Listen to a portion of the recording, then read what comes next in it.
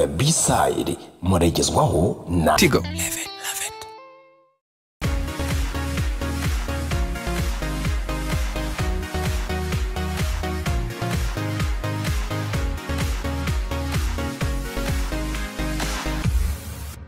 The b-side muragezwaho na tigo. 11.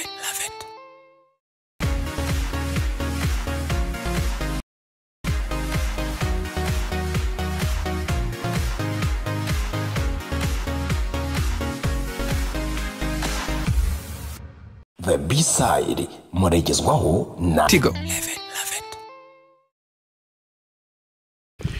Hey, yo, Wagwan. This is General Ozzy or Ozzy the Five Star General. And right about now, you're checking out the B side on TV One. One, one, one. Only one on TV One. Salute. Bien, mbaye ikaze muri B-side bayita Ziggy Double Five kuri TV One nk'uko bisanzwe kuwa mbere kuwa gatatu no kuwa gatanu ba Star tuba turi kumwe nabo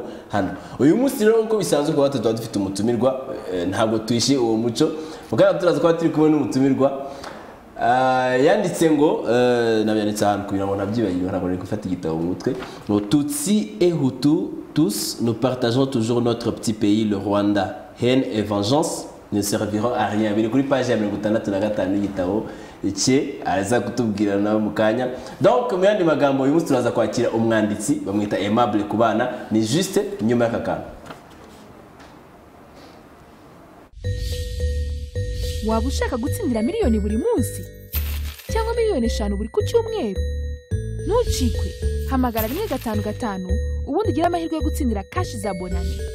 Uko witabira guhamagara kenshi kandi. Niko buri munsi ushobora no gutsindira telefoni zigezweho za smartphone ndetse no guhamagara ku buntu tigo kuri tigo mu gihe kingana n'ukwezi kose. Ibuka guhamagara rimwe gatanu gatanu kenshi ku munsi. Ubundi nawe ugire amahirwe yo kujya mu bandi ba miliyoneri amategeko n'amabwiriza birakurikizwa.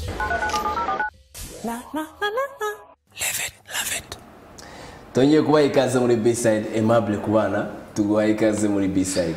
Urakoze cyane zigi amakuru y'imyaka myinshi. Aha ni meza cyane. Wantesheje umutwe bikomeye. Wari ubizi na byo tukagomba kubikubwira. Parce que Aimable Kubana inshuti turi kumwe Aimable Kubana eh, ni umu artiste ni umuhanzi araririmba yandika indirimbo eh, akina amateatre Aimable Kubana yandika ibitabo Aimable Kubana ni umupresenta kuri radio. Donc nibajije angle turi bukwakiremo nibajije angle turi bumwakiremo mbona ntabwo byoroshye Ntabwo kabisa. byoroshye. Ariko uzi se njya mbona turi kimwe. Kimwe na ni ukuvuga ngo niwireba ukimenya urahita uvuga uti "Eh, uyu muntu ndamufata muri uru rwego kuko nzi neza ko nawe ukora byinshi wareba aho ubikura ubwo rero ubu- umfashije wabwira abo turi kumwe Aimable Kubana ni muntu ki urakoze cyane Comment zigi tu dabo fayive njyewe aimable kubana ndi umuntu ukunda kubaho nishimye ndi umuntu ukunda kubaho nseka ariko mbere ya byose ndumwanditsi ndumuhanzi ndi umwanditsi ndi umuhanzi w'indirimbo nkora mu barwayi bo mu mutwe nize psychologie medicale eh, nkora aho nkora mu bufaransa mu mujyi wa nantes. Tubavuga ko uri umuganga. Eh, muri uru urwo rwego nkansoringa nkita ku bantu bafite uburwayi bukomeye bukomeye nka rizayimenti ndimo ndarangiza igitabo kuri iyo ndwara ntabwo izwi cyane ahangaha ariko hari n'ubundi bumuga butandukanye bwinshi bwo mu mutwe nibyo ngibyo nkoramo ariko nandika ibitabo hari igitabo cyasohotse mu bufaransa nk'uko umaze kubivuga mu kanya Mhm, mu eh, fils, cyasohotse mu kwezi kwa mbere cyagize succès cyane mu bihugu by'i burayi. Eh, ubu rero nkongeye no kugeza n'ahangaha hari alubumu nyinshi. Abenshi bamenyereye mu ndirimbo nk'abakobwa b'iwacu. Abakobwa b'iwacu ni beza cyane. Aimable ndi kumwe Kubana? n'abatangamundu mudashira nkundira wirira n'izindi zitandukanye. Radio mu biganiro byari bihari nko mu kiganiro ijoro ry'urukundo awards. atibuka ijoro ry'urukundo? Ubu ngubu ntabwo wiyumvaga hanyuma semana mu runana abantu benshi bakunze nabo mu gihe kirekire. Turi kumwe na sema. Hanyuma hakabaho rero ni ikinamico urukundo n'ibigeragezo mariza na rurangwa tu- yaba- yatwakinnye n'iraharya kanya. Ibyo ni ibintu byose nagiye nkora kimwe nuko nanakinnye vore mu makipe akomeye nka za kavese na za blue tigers mu masata ni ukuvuga ngo eno atufe. rero muri make ndi umuntu ndi umuntu ukunda kubaho ndi umuntu ukunda abantu ndi umuntu ukunda kwishima. Niyo mpamvu mu ndirimbo nandika cyangwa se mpimba mu bantu bose mbashaka gufasha buri gihe mba ntekereza abandi niyo mpamvu. So guys ngira ngo murumva ko igihe nababwiraga ko eh, yantesheje umutwe cyane turimo gutegura ikiganiro ntabwo nabeshye pe. Nawe uri ugiye kwakira umuntu nk'uwo nguwo nibwira ngo byakubanza bikagukorogaho gatoya hanigeze kubona kuri facebook eh, akantu kameze nka trailer ya film du genre? Yego. Yego natangiye gukina amaseri nagashyizeho mpita ngakuraho kuko nashaka gutera abantu amatsiko. Abo twari twakabonye yego. Ariko ubu ngubu eh, ndimo ndakora amaseri hariya mu bufaransa. Amaseri azagenda akurikirana kuko inaha ntabwo tubimenyereye kureba abantu dukina hari amafilime akinwa ariko ndimo ndashaka gukeya sosiyete ya filime umwaka utaha ahangaha mu rwanda izajya ikora mu rwanda no mu bufaransa. Ubwo rero ni agace natangiye gukinaho noneho ariko biri um, audio visuel abantu bakaba babasha kubyumva ariko bakabasha no kubireba. Tuzakorana n'ibitangazamakuru bitandukanye ahangaha mu rwanda ndetse no mu bufaransa. Hari uduce twamaze gukinwa ariko nzi neza ko ari wowe wa mbere uzabasha kutubona natwe. Nkuko nabashije no kubona Eh, ngako urantunguye cyane. Ni gute watangiye muzika? Abantu benshi bajya bambaza iki kibazo ko mu muryango wanjye ntabwo harimo abandi bantu bahimbaga. Ariko ndibuka ko ndi umwana mfite imyaka natangiye kubanza kwandika. Kwandika nkandika atwa abantu bakabiseka. Ariko mm, ndibuka ko papa wanjye yize kureba akantu nanditse mfite imyaka cumi n'imwe aravuga ati ariko uyu mwana azaba umwanditsi. Nafataga ikaye umwe mu makaye banguriye nkafata imwe nkajya ku ruhande ngahimba ibintu ikinamico ngenda numva amakinamico kuri radiyo nanjye nkandikira ibyanjye nibyo umwana nyiri imyaka cumi n'umwe. Hanyuma afite imyaka cumi n'ibiri nibuka ko batangiye kuri kwa kundi ku ishuri bavuga ngo ni examen yo kuririmba jya imbere hari ugiye kuririmba. Nahagarara nkihimbira indirimbo nka- nkayitera aho ngaho nkayiririmba. Nikuye mu mutwe idafite aho ivuye tuba tubaga turimo kuririmba iz'abandi mbega nyamanza keza Eh. byose bye nirimbiraga ibindi. Hanyuma mu ishuri mwarimu yayikunda ati subiramo mwisubiramo bikananira kuko nyimbi aho ngaho nyine twita freestyle. Yego.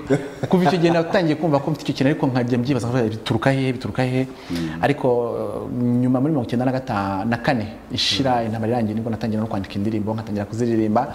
Noneho muri mirongo icyenda n'umunani nibwo noneho indirimbo ya mbere yagiye hanze rwanya malariya utema ibihuru ujya kwa muganga. Nkora ikizame konkuru ya penelpe nyine irwanya malariya iratsinda baritambuka amapubulisite yose aho ngaho ni ho natangiye no guhimba indirimbo za nyazo zitangira kujya hanze zitangira kujya mm, ku maradiyo ndetse n'amakinamico.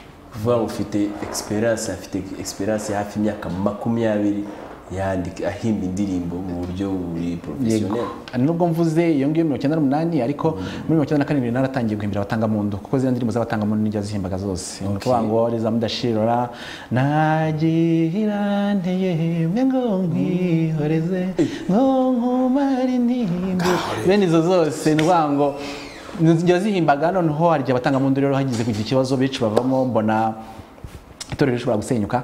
Aho ngaho nafashe umwanzuro ku mafaranga nari mfite icyo gihe ndavuga ngo ngiye gukora album. Bo ntabwo bumvaga aho bishobora kubageza ni abantu bakunda ibintu by'umuco ni abantu bakuze. Ndavuga ngo no imwe bizadukorera publicité. Amaradiyo yaratangiye kuza mbajyana kwa wimana wakoraga indirimbo z'abarokore Eh. rwose indirimbo. Narogisitara byose kuko ntabwo bari bumvaga icyo bamaze ndabahamagara mbashyira mu modoka turagenda tujya kwa wimana ndavuga ngo ngenzi ajya ntera mwikirize. Okay za kana kaba abakobwa b'iwacu nabo bakakufatiraho ngo kuko ntabwo rwa mbere binjiye muri studio nari narigeze kugera muri studio kenshi nuko ari album y'abatanga mu ya mbere yasohotse muri bibiri na Wow. gatanu. Iyo ni histoire none se nihe wumva uri comfortable kurusha ahandi? Muri musique mu kwandika enfin kuririmba kwandika indirimbo cyangwa se kwandika izindi nkuru zirimo par exemple ibitabo eh, gukina ku- nihe gukora eh, kwa muganga nihe wumva uri comfortable muri ibyo bintu byinshi birasekeje ndi umuntu kuva kera wakunze gukora ibintu byinshi icyarimwe. Mbese simbasha kwicara ahantu hamwe iyo bampaye igihano cyo kwicara ahantu hamwe numva ndimo kuribwa ndatangira nkandika ngatangira gukora utuntu. Ni ukuvuga ngo ari ukuririmba ngira igihe nkumva indirimbo zizanye. Ndi umuntu niyo ndi mu rugo naba ndi muri dushe naba ndi kumwe n'inshuti mba ndimo kuririmba buri kanya. Hanyuma n'abandi jyenyine nari kumwe na- n'abandi nicaye ntuje nkumva hari amayida ndi mu mutwe nkatangira kwandika. Ni ukuvuga ngo buri hose numva ameze neza. Iyo ndi ku kazi ndi kumwe n'abo barwayi banjye ni abantu bibagirwa indwara zemere n'indwara mbi. Uramubwira abamaze aba amaze kurya akakubwira ngo ngo ntabwo nariye kandi umaze umaze kubinywa umaze kurangiza akubwira ngo noneho bya bintu uzi blague bajya bavuga ngo Eh. wari urwaye kwibagirwa. Hanyuma ajya kwa muganga agiye kwa muganga muganga aramubaza bite si sawa? Wari uje gukora iki? Ngo tugufashe iki harya gukora iki? Yibagirwa ko yaraje kwibagirwa c'est tout à fait ça. Niyo ngiyo birenze ibyo ngibyo arakubwira ngo uramubwira ngo- aka- akabikwemeza cyangwa akakubwira ngo ngo ngo mvuye igitarama mu kanya ngo nabonanye na bene wacu kandi aho ngaho hamaze amezi atanu atandatu ni ukuvuga ngo ni ni ubuzima bugoye ibintu byose arabyibagirwa ni ukuvuga rero ngo kuba ndi kumwe n'abo bantu na byo ndabikunda cyane kuko ikintu kimfasha ikintu kinshimisha no kubona ngo yibagirwa ibintu byose akibagirwa bene wabo bose. Ariko kwa kuntu kwaguse kandi kumwe nabo iyo mpinjiye ukabona bose baraje ninjye bamenya bakaza ku- bakankurikira aho ndi hose ukumva ariho bafite umutekano.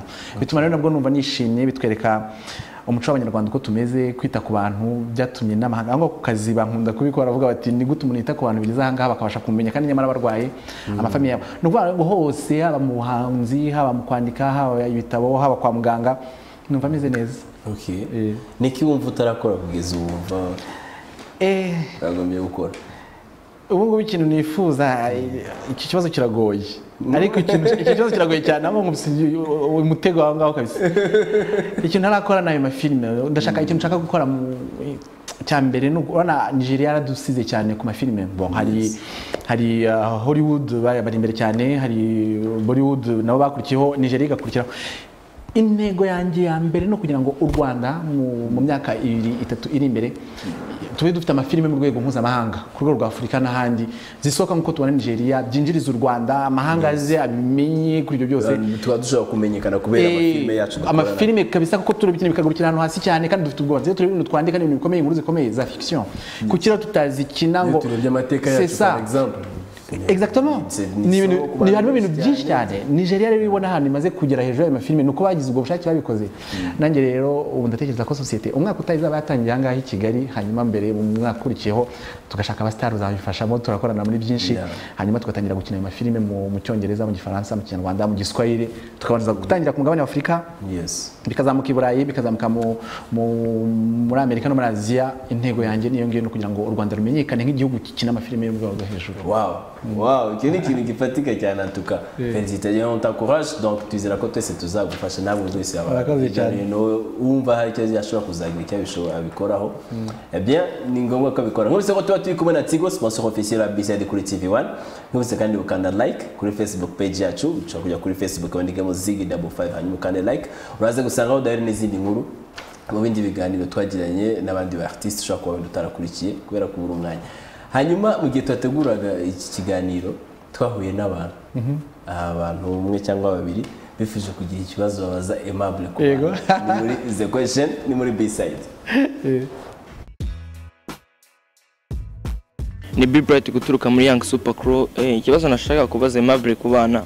Nagira ngo mubaze. Eske tuzi ko akiri mu Rwanda yakoraga ibijyanye na showbiz birimo cinema n'amateatre icyo gihe ndibuka ko yari no mu radio presenter. Ndetse ikintu nashaka kumubaza sinema nyarwanda aho yayisize. Yasanze ari hiri yasanze yarateye intambwe ese ni akahe gashya azanye yashyiramo kugira ngo bigere n'aho bigeze igihugu bimanika ibendera ry'igihugu nk'uko tuzi Hollywood nk'uko tuzi Nollywood nk'uko tuzi ne- sinema za Tanzania. Nk'uko tuzi ko mu minsi ishize yarafatiye runini umuziki nyarwanda. Yari inkingi za mwumva umuziki nyarwanda. Ategura igitaramo cyitwa ijoro ry'urukundo award. Ikintu nashaka kumubaza kuki ijoro ry'urukundo award bitakomeje ko hari ikintu byafashaga umuziki nyarwanda? Hari n'ukuntu wajya wa- wajya gutanga ibihembo icyo gihe abandi bakarekarama ibyo bihembo ntabwo babibonye ibyo bemerewe ntabwo babibonye ese wabivugaho iki? Ya nitwa Niscos guturuka mu itsinda Young Super Crew. Ya ko twakundaga Aimable kubana nk'umunyamakuru. Gahunda waba ufite yo gusubira mu itangazamakuru cyane cyane ko twamukundaga cyane. Ya ikindi kibazo cya kabiri tiyatire zo mu Rwanda urabona zarateye imbere cyangwa zasubiye inyuma? Eh, cyane cyane tukuzi nko mu runana wakunze gukina uri semana. Hari gahunda waba ufite yo kudevelopa iyo mpano yawe? Ese uzongera wumvikane mu runana? Njye ni cyo nashaka kubaza murakoze. Voilà. Ibi ni ibibazo murakoze cyane hari umuntu wa mbere ubajije ikibazo cya filime wagira ngo nari nabimenye kandi ntabwo mwankopeje navuze ku bintu bya filime mu kanya kandi mutankopeje mu by'ukuri ndumva ikibazo cya mbere nari nagisubije kuko twavuga bya filime intego mfite kandi kuko ni ibintu bigiye gutangira gukora umwaka utaha. No gushaka abakozi tuzakorana ariko ah, hari papa wanjye karera joseph wabaye umuntu ukomeye mu- kuva kera mu ikora muri electrogaze yakoranye n'abadage n'ibiki niwe uzaba uhagarariye iyo sosiyete ndetse n'abandi bantu bazaba barimo nubwo nzajya nkorera mu migabane ibiri. Ariko hari no gushaka abandi tuzakorana abantu bakomeye hari abantu nk'ayo nka zigi n'abandi twagiye dukorana mu bintu bitandukanye Eh, ariko umwaka utaha icyo gikorwa kizaba cyatangiye hanyuma ku bintu avuze rero ku bijyanye n'ubuhanzi ama award ijoro ry'urukundo. Nakubwiraga mu kanya ko nifuza gukora ikintu cya partenariat partenariat ya, ya France aho ndi mu mujyi wa Nantes ndetse n'umujyi wa Kigali. Atari umujyi wa Kigali u Rwanda en general kuko Yes. ubufaransa ni munini cyane u Rwanda ni rutoya. Ni ukuvuga u Rwanda rwose en general abahanzi babashe guhabwa ibihembo. Kera najyaga mbasha kubajyana muri Afurika y'Epfo. Ubu ngubu tukareba uburyo babasha kubona ayo maformation mu, mu mujyi wa Nantes ni umujyi ukomeye cyane ni umujyi urimo amayuniversite akomeye arimo amaformation akomeye. Noneho tukabasha gukora iyo partenariat abahanzi bakabasha kujya kubona formation hariya bakareba uko bimeze ndetse bakanabasha gu- guhanga ibihangano byabo bikagira hariya. Kuko na- naratunguwe mu minsi yashize n- ndeba ngiye kubakorera publicité kuba baranshimishije cyane abo bantu. narebye na- nari maze iminsi ndi mu kazi kenshi nta- ntabasha kumva umu- umuziki ngo nkurikire ngo ninde ugeze ahangaha ninde ugeze ahangaha numvise indirimbo za active. Eh, ziranyura namaze iminsi nazishyize muri telefone njya ku kazi nzumva nibyo, pose kabisa. nzumva nkicara nkazibyina nk'abana abana bageze kure rero active nda- ndabasuhuje cyane kandi mu bufaransa abantu b'inshuti zanjye bazumva tujya mu mafete bakazibyina nkazishyiramo kugira ngo bumve ko ari ikintu kibagezeho koko. Rero nicyo kintu nifuza kugira ngo abahanzi noneho umujyi mbamo wa Nantes ni umujyi nkunda ni umujyi mwiza cyane uri ku nyanja ya Atlantique. Yes. Eh, ufite ubwiza bu- bu- nyaburanga bukom- bukomeye nk'uko tubona u Rwanda naho hari bizi ni urwango ngo tugasangizanya uwo muco tugahana uwo muco ibintu bikabasha kuba byiza ubwo rero abahanzi nyarwanda ndabazirikana naho ku mafilime amafilime nta ntabwo aragera kure cyane kuko ziraba zikareberera hano hafi kereka ni za jenoside zimwe na zimwe zabashije kugera kure ariko izindi wumva Ntabwo tuzimenya ntabwo tumenya ngo habaye iki. Ubwo rero niyo mpamvu navuze ko iyo sosiyete izaba ishinzwe kugira ngo amafilime agere ku rwego mpuzamahanga. Duhereye kuri afurika tukagera kuri europe ndetse tukagera n'ahandi muri amerika n'ahandi. Njyewe ni uko intego- yanjye ni uko mu- mu myaka ibiri icyo kintu kizaba cyamaze kugerwaho. Hanyuma rero yego rwose. Urakoze. hanyuma ku bijyanye na urunana. Arambajije ati urunana. Nzi ko abantu benshi bakunda urunana batangiye kumva nemaze imyaka myinshi cyane nkina Sima- semana benshi bakamenya mu mafuti nagiye nkina. Ariko ayo mafuti si ukuvuga ngo nuko uko nkunda amafuti ahubwo ni ukugira ngo twigishe abantu bari muri ibyo bibazo babashe kubisohokamo. Eh, ubu rero urunana barambukinze kuva naje ko mfite iminsi cumi n'ibiri gusa nzakina ku gatandatu no ku cyumweru ibintu byinshi kugira ngo bazabashe kubyumva mu mpera z'umwaka n'ahandi urunana barabiteguye. Donc, bagiye kongera kunyumva mu runana abakunze urunana bagiye kongera kunyumva nkaba nabishimira. Abantu b'urunana ko bazi ko usemana yari akunzwe cyane bakaba bazi ko abaturage babaza ari benshi. Ndagira ngo mbahumurize mbabwira ngo mu minsi iri imbere bazongera kumva iryo jwi rya semana. That's great that's great kabisa. Kuva igihe wagiye eh, mu bufaransa hari kinini ubona wungutse hariya hariya bi- biragufasha kuko uba uri wenyine ntabwo ari ahantu ushobora gukonta kuri famiye ntabwo ari ahantu ushobora gukonta ku muvandimwe n'ibiki byose. Njye na nanjye ndi concentre mu myaka itanu mpamaze mbasha kwiga mbasha ku- ku- kumetiriza muri muri iyo psychologie. Nari nari ndimo niga psychologie médicale aide médico psychologique. Ah, mbona diplôme hariya mu Bufaransa hanyuma mbona diplome yo ku rwego rwa masters. Yego cyane hanyuma mbasha kubona eh, akazi CDI uh, contrat de durée indéterminée hariya kugira ngo ubashe kwibona mu rwego baguha akazi bakwemere nk'umu- nk'umuntu w'umunyamahanga uturutse imahanga ba- ba- ba- bavuge bati turaguha akazi gahoraho no ko ari ikintu kiba kitoroshye ari permis de conduire. Byose nagiye mbikorera hariya i Burayi no kwandika igitabo. Kuko ahangaha ushobora kubona maison d'édition ariko i Burayi kugira ngo ndibuka ko umuntu wa mbere nabwiye ngo nankosore nandika igitabo kiriya cya Thier Tutsi mon fils yaravuze ngo kandi rero umuzungu w'inshuti yanjye aravuga ngo eh, ni uguta igihe kuko n'abazungu natwe twagejeje kwandika ntitubona maison ziraduhakanira buri kanya. tubona maison d'édition. Eh, mbikora njyenyine se mbwira mbishyira muri posita ndabyohereza. Haciyemo igihe gito ngiye kubona mbona mm, baranshubije basinya kontra nanjye igitabo kirasohoka. Ku buryo aho naje kubonera ko ari ikintu gikomeye nuko mu minsi yashize nateguye na projet. Nari maze kubona ko noneho mfite confiance ihagije kugira ngo mbashe gukora icyo kintu kuko hari i Burayi hari ikintu abajene ndetse n'abandi bantu batangiye kujya muri radicalisation. Kwa kundi bavuga ngo tugiye kujya muri abantu basenya baze bat- batera amabombe bakanga kwiga bakagenda muri za Syrie bakajya muri za Iraq kuza gukora ibintu nk'ibyo ngibyo mbona ni ikibazo. Iyo rero mu bibazo ahangaha mu Rwanda nka biriya bya jenoside n'ibiki ukabasha kubisohokamo ukagira izo traumatisme ukabasha kuzisohokamo ubasha kwigisha abantu kugira ngo babashe kumva ubu buryo abantu babashuka uburyo umuntu ashobora guhinduka wari mwiza ukaba mubi n'ibiki byose. Umuntu ashobora kuba manipulé exactement kuba manipulé ni cyo nashaka kwereka nkora projet nyoherereza ministère de l'intérieur hariya mu bufaransa. Au bout des mois barampamagara. Nandikiye Bernard Cazeneuve barampamagara. Hama njya gupresenta projet yanjye. Kuri ministeri de l'intérieur. umuyobozi bahise bampa umwungirije kuba bari mu bintu byinshi cyane muri iyi minsi. Banyakira nk'umuntu ukomeye ndagenda ba eh, kuriye kuriye officiel eh, ndazifite nazohereje hereje bamba ambasade y'u Rwanda abaholandi n'icyo bazifite kugira ngo tumenye uburyo tuzakorana aho ngaho. Hanyuma bahita bambwira bati fonda association cyangwa se une fondation yawe tuzajya tubinyuzamo ujye gufasha hariya ababyeyi babuze abana babo bagiye ari abantu bari mu maprison cyangwa se mu mashuri. Ubigishe kuko iki gitabo cyawe n'ibintu duhaye n'uburyo tweretse uburyo dukonvenka ni ikintu kiri mu rwego rwo hejuru. Ku buryo amadedikasi nagiye nkora ibitabo byagiye bisohoka ibinyamakuru byagiye binyandika hariya mu bufaransa n'ibiki byagize akamaro. Rero ni byo ndimo gutegura. Ndavuga nti se ni gute nafasha gusa abafaransa? Ok uyu munsi mfite ubwenegihugu bubiri ubufaransa n'umunyarwanda. Ariko ndavuga ntabwo nafasha ubufaransa gusa ahubwo n'u rwanda aho navukiye n'ibibazo bihari n'uburyo n'aho tugeze ko ndeba mu myaka makumyabiri n'u rwanda rwagize ku byinshi cyane. Rwasohotse muri jenoside. Iyo narahinjiye ejo ndi nkutwa n'inkuba u rwanda ruri mu bihugu wao ndi- mfite ishema ryo kuba umunyarwanda. Ndavuga ni ngomba kuza rero no mu rwanda tugatera imbere mu bintu bitandukanye. Ok. Hanyuma eh, igitabo cyitwa tuye tusi mon fils inspiration yavuye he? Urakoze cyane kubaza iki kibazo biranshimishije kubera ko hari abantu batekereje ngo ngo ariko ngo buriya ngo Aimable ngo ashobora kuba ashaka kugorora ibintu by'amoko. Njye ndi umuntu wa mbere wanga ibintu by'amoko. Unananze nyeho amoko n'indi kandi turashwana hariya i Burayi abazungu bakunda kubaza ngo ese ngo iyo wumvise ko umunyarwanda uri umuhutu cyangwa uri umututsi? Ndabwira ibyo ngibyo ntabwo ntabwo ntabwo nta- twese turi abanyarwanda abanyarwanda. Ariko hari amateka u Rwanda dufite amateka. Niba dushaka kwereka abantu amateka ko jenoside yabayeho tugashaka kwereka abantu ko jenoside ifite ikintu kibi yadukoze. Tugomba kwerekana aho byabaye n'impamvu kugira ngo tutazongera no kubaho. Titire yavuye rero? Tuye tutsi mon fils? Niga mu mwaka wa gatatu primaire ni bwo namenye ko ubwoko icyo ari cyo. Baravuze ngo abahutu ni mujya imbere. Barahaguruka bajya imbere. Abatutsi nimuhaguruke mujya inyuma. Barahaguruka bajya inyuma. Nsigara nicaye. Batiye abatwa njye kurande nsigara nicaye. Abanyamahanga nsigara nicaye. Mwari muto ndetse mwari witwa Christine ndibuka ndiga mu gatatu abe aravuga ati "Mm, Aimable ko nkubwira ngo umuhutu ukabutora umuhutu ukabutora umuhutu ukabutora umuhutu ukaba utari umunyamahanga uri igiki ndamubwira ni ngewe ubwoko bwanjye ntimwe mwabuvuga ubwoko bwawe? Uri igikizi ni ngewe ndi umukirisitu kuko natekaga ko idini ari ubwo bwoko. Nari maze iminsi mpawe ukarisitiya rero ntiduregere ubwoko bwanjye burisha arambwira ati fata katabe yawe utahe ujye iwanyu ujye kubabaza ubwoko bwawe. Ndataha njya kubaza mbibaje mama kutwa n'inkuba iki kibazo sinyigusubiza tegereza kwawe ku kazi araza kugusubiza nimugoroba. Nuko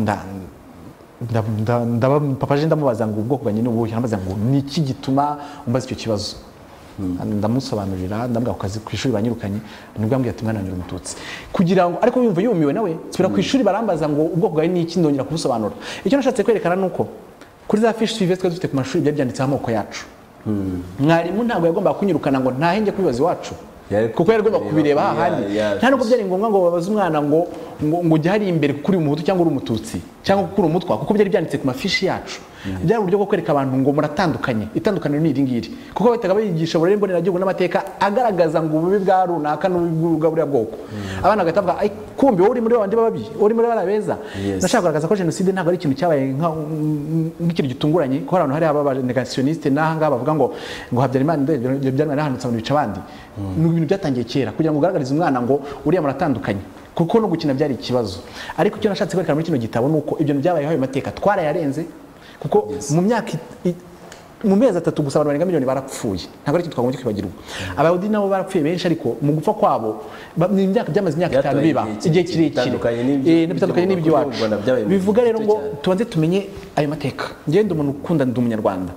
Ariko tuvuge ngo noneho dufite aho byaturutse habaye ibintu bibi hari amatraumatisme menshi cyane afite aturuka ntitugomba kuyahakana noneho tubanze tuyamenye kugira ngo n'izo traumatisme hanyuma nitumara kuzisohokamo tube ndi umunyarwanda tumenye ko abana tuzi impamvu tubabariranye hanyuma yego exactement noneho umutu umututsi dufite u rwanda rwacu rutoya turabana twese twitwa ndi umunyarwanda nyuma rero ndangiza mvuga ngo abahutu n'abatutsi twese turi bamwe turi umwe dufite igihugu cyacu cyiza ndashaka no kwinjira cyane cyane mu bintu bijyanye na reconciliation kugira ngo tumenye ko ikintu gifite agaciro uyu munsi usanga uh, generasiyo itakibigaruka ibyo by'amoko ni ikintu cyiza cyane ariko nkanabwira abantu noneho uburyo u rwanda rwabaye rwiza nyuma y'ibyo bintu byose nyuma y'ayo mahano mu myaka makumyabiri n'umwe u rwanda ni rwiza rura- rufite- dufite klima nziza rurubatse Umuntu neza aramutse aje uyu amajardin munsi- aramutse aje uyu munsi ariko niko ntabwo ntabyemera byigeze bibaho. aranavuga ati ntibishoboka utamujyanye ku gisozi no mu zindi nzu aravuga ngo Ntabwo ntabwo bishoboka bishoboka. ko ibyo bintu hari n'abantu bavuga bati ziriya filime buriya zabayeho? Niyo mpamvu njye nshaka gukina filime y'ibi ngibi kugira ngo nerekane ibintu byabaye muri Saint Paul. Ko njye narokokeye muri Saint Paul? Hari n'igitabo wanditse mbere kivuga ku gatoya bijyanye na justement bya Saint Saint Paul justement cyari cyatewe inkunga na CNLG na Minispoc Yes. kigaragaza ubuzima bwo muri Saint Paul kuko papa bamurasiyemo twirukanka dutwarwa kuba dutwaye saa munani z'ijoro. Ari abasirikare mirongo itatu badutwaye budukeraho bati nta kintu twabakorera uretse kwirukanka mugana kuri uriya musozi. Twarirukanka kubona abantu barasa bamwe bakagwa abandi bakirukanka kuko twabashije kurokoka. Papa we baramurasha ngo mu ivi ariko ntiyapfa baramujyana baza inkotanyi ziza kumufata zimukora ngo nijoro zimujyana mu bitaro twongeye kumubona intambara irangiye. Ni ukuvuga ngo habaye ibintu byinshi cyane tudashobora kwibagirwa. Tutabivuze rero ntabwo twabasha kuvura ibyo bikomere. Tutabivuze ntitwabasha kwereka amahanga ibyabaye ko hari abantu benshi bahakana jenoside. Tuzabitsinda ntinye kuvuga ngo tuye tutsimba mu mfisi ko byabaye ariko ndazaca inyuma njye kubeshya ngo bimeze gutya na gutya. Niyo mpamvu rero tugomba kubivuga ariko no tukerekana aho u Rwanda rugeze uyu munsi. Ntashingiye ku moko ndi umunyarwanda u Rwanda dufite aho rwavuye dufite aho rugeze none nibaze kurusura bazana ayo madolari bazana ayo madovize kuko dufite dufite duhinga ibyo byayi duhinga ayo makawa dufite izo ngagi zacu dufite u Rwanda rwiza dufite abaturage beza dufite abayobozi beza. Ikindi wakongeraho se n'ibindi nta kindi kuba umuntu ashobora gutungwa no kwandika abantu? Eh hari i Burayi cyane. Donc comment ça se passe? Wandika igitabo ukagenda ukabigurisha? Oh non, en fait euh, wandikira uwo yanditse inkuru uyohereza ama maison d'édition. Iyo ugize imana ukabona maison d'édition igusubiza usinyana contrat nabo. Ni ukuvuga ngo nibo bagurisha ibitabo bakajya bakuveresa amafaranga. Ah. bakubwira ngo sorry bakubwira ngo ku gitabo tuzajya tuguha aya ngaya. Pourcentage ni yingi pourcentage ni yingi ibindi byose barabyisharije ntabwo ubijyamo Chaque pe- nk'ubu ngewe sha turi simo abanyohereza amafaranga kuri konti turi simo bakanshyira amafaranga kuri konti ya kiriya gitabo hari n'ikindi cya kabiri kuri ndwara ya Alzheimer dari kuri de la maladie d'Alzheimer uh, ivuga ku bantu bakuze n'izo ndwara n'ibiki byose n'ibibazo bahura nabyo nacyo kizasohoka mu minsi iri imbere ariko ndashaka cyane cyane no kwandika gutangira kwandika noneho fiction nk'ibindi byose izo zose zakinwamo amafilime mu minsi iri imbere Okay. Eh, niki wavuga ku bintu bijyanye na propriété intellectuelle hano mu Rwanda? Ko ibyo bintu ngira ngo wabibaye. Ego, narabibonye. wabaye na hariya hanze Eh, biratandukanye materi cyane. Ahangaha usanga ujya mu dusitidiyo runaka bagafata agasede kawe bakinjizamo bakashyiraho indirimbo za runaka z'abantu mirongo itatu bakaguha ukagenda. Eh, iki kintu ntibishobora gutunga umuhanzi. Ntibishoboka. Nyamara kandi ibihangano nsigaye ibihangano by'abanyarwanda ibihangano biremereye byiza. Hari iburayi biragutunga ukaba wundi banaku- banakubona induru zikavuga bati dore aratambutse. Mbere sinajyaga numva agaciro kabyo kino gitabo kimaze gusohoka abanyamakuru baje kunsanga ku kazi ni naho baje kumfatira ku bitaro aho nkora baza kumfata ku ku- amafoto batangira kwandika. Noneho njye mvuga ko sikucyo urimo gukora ibi ngibi ntabwo mbyumva n'abakorege banjye bagatangira kumbona ukundi bagatangira gusinya bigaragaza ko hariya agaciro bagage intellectuelle y'umuntu mu buhanzi n'ibindi barayubaha cyane nituyubaha natwe ahangaha tukamenya ngo icyo uriya yakoze turacyubaha sinza sinzagipirata ngo njyane hariya ni bwo tuzatera imbere ariko cyane cyane n'ubuyobozi bukabidufashamo kugira ngo niba bumvise ku kana karimo kukwiba igihangano cyawe cy'ubwenge bwawe bakabasha kubikurikirana kubirengera ukunda ibintu bya fashion Ndabikunda cyane. Bien abantu bamwe barimo gukora ibintu un peu genre y'ibintu wakoraga donc bashaka gutanga ama awards ya ibintu bya fashion byitwa red carpet bahemba ama maison yakoze ibintu bya fashion twaganiriye nabo Yego. ndashaka mbakwereka hanyuma nubona n'umwanya Okay. utihari uzajye kubareba Urakoze cyane. muri Beside. Amazina yanjye banyita kanyana louise nkaba ndi umwe mu ba organizer ba red carpet fashion award izaba kuri tariki makumyabiri n'umwe z'ukwa cumi na kumwe. Eh, banyita mwerekande fred césar nkaba ndi ceo wa the 250 events. Eh, ni ukuvuga ngo igikorwa kigamije guteza imbere ibijyanye n'imimideri kwerekana imimideri Eh, hanyuma hazaba gutangwa ibihembo kuri bamwe bazaba bitwaye neza ari bo best male best female na best fashion eh, agency award. Eh, hakaba abo bantu bahari bazaba ba- bazerekana ibijyanye n'imideri yabo. Hari abazerekana ikinyarwanda cyangwa se e, ibindi bigiye bitandukanye. Bazabasha kuba babitwereka kuri uwo munsi bikaba bizatangira mu masaha ya saa kumi za nimugoroba kuri villa portofino. eh, ni hoteli ikaba iherereye nyarutarama. Tukaba twarashatse guhera ku bana batoya bakiga muri za segonderi muri high school. Tukaba impamvu twabahisemo urabona hari igikorwa kindi cyitwa kigali fashion week bo bafata abantu bari ku rwego rwa rw'abadilte abantu bakuru bo ku myaka cumi n'umunani kuzamura. Twe rero tukaba twarahisemo gufata abana batoya tukabazamura tukabageza ku rwego rw'abakuru ku buryo nabo bazamuka ndetse izo talent zabo na zo zikazamuka zikagera ku rwego rw'isi hose ubwo rero events tukaba twarayiteguye turaba organizers hakaba hari ngewe mwerekane Fred César hari uwitwa Ntwari Armel uwitwa Iradukunda Jero uwitwa Kanyana Louise n'uwitwa nu- n'uwitwa Cogoza Brunel n'uwitwa Frank Ndori Eh, hazaba hari private na agency. Ni ukuvuga ngo eh, hari private b'abahungu n'abakobwa batandukanye na agency. Agency iba ari group y'abantu ariko ba- hakaba bafite umudizayina wabo eh, ubambika noneho akabyerekana. Kimwe nk'uko no mu private hari igihe aba afite umuntu umwambika. Eh, umwihariko uhari ni uko uwo munsi tuzatanga award ku bantu bazaba yitwaye neza. Hari hazaba hari best agency hazaba eh, best eh, y'umuntu wambitse neza abantu eh, na best male na best female.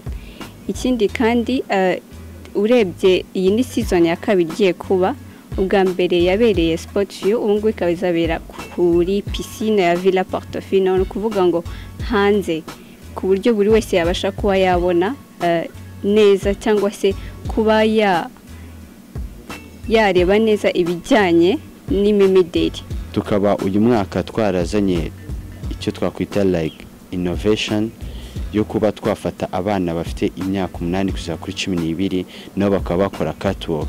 Nabo bagakora ibijyanye n'imideri bakerekana ko nabo babishobora. Ariko bo ntabwo bazaba ari pati ya competition. Ubwo competition dufite ama agence atandukanye akaba ari umunani n'aba private models cumi n'umwe. Bakaba bose bazakompeta kuri uwo munsi ndetse tukaba twatangiye online voting ku nyarwanda ikaba yaratangiye ku munsi w'ejo saa yine za mu gitondo. Ikaba izarangira ku wa gatanu tariki makumyabiri z'ukwa cumi na kumwe saa kumi n'ebyiri z'umugoroba. Iyo online voting wayisanga kuri link ya rcf awards inyarwanda ukaba wavotinga uwo ubona bikwiye. Ndetse nyuma y'aho ngaho ku munsi wa event bakaba bazakora catwalk hazaba hari aba judges bazabajajinga then tugahemba. Tukaba dufite ibihembo bitandukanye tukaba tuzahemba ibintu by'imyenda itike z'indege n'ibintu nk'ibyo. Buri wese ya- yaza muri event kandi eh, ibiciro biri hasi umuntu ashobora kwishyura online kuri kayimo cyangwa se agashobora kuba yadukontakitinga tukabasha kuba twamuhereza amatike Eh, ikindi hari dufite page ya ya facebook na instagram eh, ashobora kutwandikira yitwa red carpet fashion award rwanda. Ikindi kandi ashobora kwinjira ni amafaranga ibihumbi bitatu ku munyeshuri Eh, ku muntu usanzwe eh, ni ibihumbi bitanu hanyuma couple ni ibihumbi umunani hanyuma vip ni ibihumbi icumi. Kwinjira ku munsi wa event biz- izatangira saa kumi z'umugoroba hariya kuri villa portofino nyarutarama aho bita mu kabuga aharebana na k club cyangwa bazi ku inzu ya ndengeye hariya nyarutarama.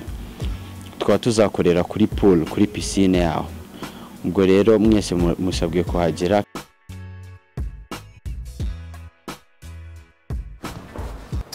Bo nkeka ko nubona umwanya ushobora kuzajya. Eh, cyane. Eh, byanze bikunze. Okay. urakoze cyane. Eh, turangana ku musozo rero mu minota itarenze ibiri ni izihe gahunda niki watubwira ni izihe gahunda ufite mu minsi iri imbere? Tu- tukwitegura Eh, apata nibwira ko ibyinshi wabivuze byinshi nabivuze ikintu nsigaje kuvuga ni ukuvuga hari abantu dukorana hariya bakunze ibikorwa bareba iby'u rwanda batari baruzi ndetse n'icyo gitabo bamfashe kuri icyo gitabo. Hari nk'umudogiteri dukorana witwa dr jean pierre chignon ni umudogiteri w'umuganga wo mu rwego rwo hejuru. Yahise akunda ibyo byose birimo kuba mu rwanda ariko arangije ana- anavuga ati ndashaka gusura u rwanda no nkajya gufasha haba kuvura abantu haba gutera inkunga mu bya siporo n'ibiki byose. Ni inkunga ngiye gutanga nkaza mu rwanda bitewe n'ibyo mbonye bitewe n'ibyo nyeretse. Ni byiza kwereka amahanga kugira ngo aze asure u rwanda arurebe arufashe mu byo rukeneye ariko kandi nta n'urusuzuguye tukabasha kuruha agaciro. Nkaba rero nshimira abahanzi bose muri rusange nkaba nshimira tv one nkaba nshimira we zigi Merci. Eh, ikiganiro bateguye kuko ibibazo byinshi wambajije numiwe kabisa byari biteguye neza cyane kandi nkaba mvuga ngo ubutaha nubyifuza wazashyiraho wabadiye ikiganiro cyawe. Indirimbo izajya iba wahisemo rimwe mu mezi atandatu cyangwa se indirimbo umuhanzi uzajya Wow. wahisemo rimwe mu mezi abiri nkajya nohereza ibihembo bye dukoranye nawe bizagenda neza. Murakoze cyane. nibwira ngo n'abari turi bamwamuha amashyi abakozi ba b-side tugiye gushyiraho awards. Eh, kabisa. Bien urakoze cyane aimable namwe mwese twari kumwe uyu munsi kuri tv one muri b-side nk'uko bisanzwe abastar tuba turi kumwe nabo ntabwo ari ibanga. Ku wa gatanu nanone abastar tuzaba turi kumwe nabo. Nkibutse ko tuba turi kumwe na tigo sponsor officiel wa b-side kuri tv one. Ubu ngubu niba ushaka kuba umumiliyoneri uzi ko ugomba gukorana na tigo. Niko bimeze byo si ibanga. Hanyuma kandi eh, mwibutse gukanda like kuri facebook page yacu zigi double five. Ushobora kujya kuri eh, muri kuri facebook ukandikamo zigi double five hanyuma ukande like cyangwa se nk'uko byanditse aho ngaho kuri ekara yawe.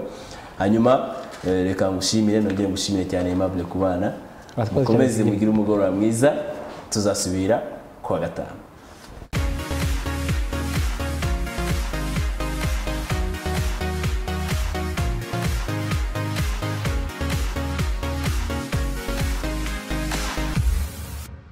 The B-side mwayigezwagaho na Tigo.